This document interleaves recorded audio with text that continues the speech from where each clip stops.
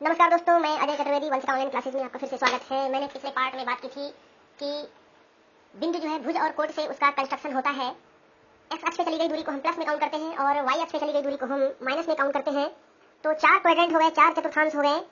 तो क्वेश्चन इस तरह से एग्ज़ाम में आ सकता है कि माइनस दो कामा माइनस तीन किस चतुर्थांश में स्थित है। तो हमें चारों क्वाड्रेंट के मार्क जानने होंगे। तो जो पहला चतुर्थांश है, उसके जो चिन्ह है, वो प्लस कामा प्लस है। इसका मतलब उसके अंदर जो भी बिंदु स्थित है, उसका जो पहला, जो पॉइंट है, जो पहला डिजिट है, जो भुज है, वो एक्स अक्ष पे चली गई दूरी को अंकित करता है और वो प्लस में है। और जो कोटि है, जैसे मान लीजिए, पहले चतुर्थांश में आपका तीन कामा चार है तो तीन जो है वो भुज है और वो एक्स अक्ष पे चली गई दूरी है और चार जो है वो आपका कोट है, वो वाई अक्ष पे चली गई दूरी है। तो ये बिंदु जो है प्रथम चतुर्थांश में है। इसी तरह सेकंड क्वाड्रेंट में द्वितीय चतुर्थांश में जो बिंदु होगा, उसका जो मार्क होगा, उसका जो चिन्ह होगा, वो होगा माइनस कामा प्लस क्योंकि पहले एक्स अक्ष पे चली गई दूरी को काउंट करेंगे, वो माइनस में है, और फिर ऊपर वाली चली गई दूरी को काउंट करेंगे, वो प्लस में है। सॉरी हाँ दूसरी वाली जो है, वो ऊपर वाली प्लस में है। तो दूसरे चतुर्थांश का जो साइन है, वो माइनस का प्लस हो जाएगा। तो जो भी इसमें बिंदु आएगा, वो पहला माइनस में और दूसरा, पहला और दूसरा प्लस में होगा। फिर तीसरा जो चतुर्थांश है, तीसरा जो क्वाड्रेंट है, उसका जो साइन होगा, वो माइनस का माइनस होगा। क्योंकि पहले एक्स एक्स वाली चली दूरी, वो भी माइनस में, और फिर वाई एक्स पे चली गई जो दूरी है, जो कोटि है, वो भी माइनस में होगी। तो क्वेश्चन अगर पूछे कि माइनस सात या माइनस सात का माइनस पाँच किस क्वाड्रेंट में है तो थर्ड क्वाड्रेंट में है। फिर आते हैं चौथे चतुर्थांश में। तो इसमें चतुर्थांश इसमें जो भी बिंदु स्थित होगा, उसका जो मार्क होगा प्लस का माइनस होगा तो एक क्वेश्चन ये बनता है कि ये बिंदु किस चतुर्थांश में है।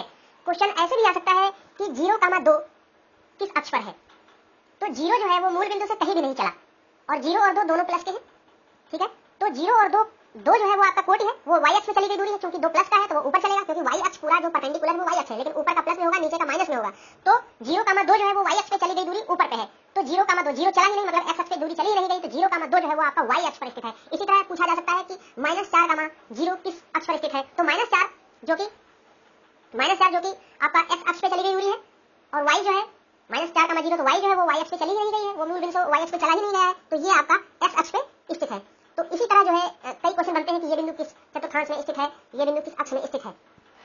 तो अब आते हैं, हम आगे बढ़ते हैं और पॉइंट्स पे। जैसे कि दो बिंदु अगर दिए हुए हैं तो मान लीजिए, एक बिंदु है आपका फ़र्स्ट क्वाड्रेंट में और एक बिंदु है सेकंड क्वाड्रेंट में। उसके बीच की दूरी पूछ रहा है मतलब अगर दो बिंदुओं से एक रेखाखंड खींचा जाएगा या रेखा खींची जाएगी तो रेखाखंड एग्जैक्ट जो है उसकी डिस्टेंस होगी।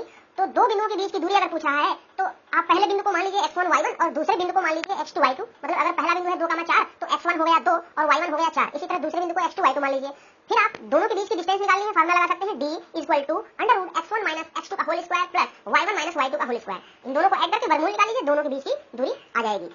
तो ये चाहे जिस भी चतुर्थांश में स्थित हो, यही फॉर्मुला लगेगा डी बराबर under root X one minus X two का whole square plus Y one minus Y two का होल स्क्वायर तो इस फॉर्मुले से आप दो बिंदुओं के बीच की दूरी निकाल सकते हैं। आप इसको ट्राई करें, इस पर बहुत से क्वेश्चन बन सकते हैं कि बिंदु, ये बिंदु किस चतुर्थांश में स्थित है और इन बिंदुओं के बीच की दूरी क्या है। फिर इसके आगे हम अगले पार्ट में बात करेंगे दोस्तों। बहुत बहुत धन्यवाद। अगर आपको वीडियो अच्छी लगती है तो कृपया लाइक कर दें और शेयर कर दें और बेल आइकन दबा दें। थैंक्स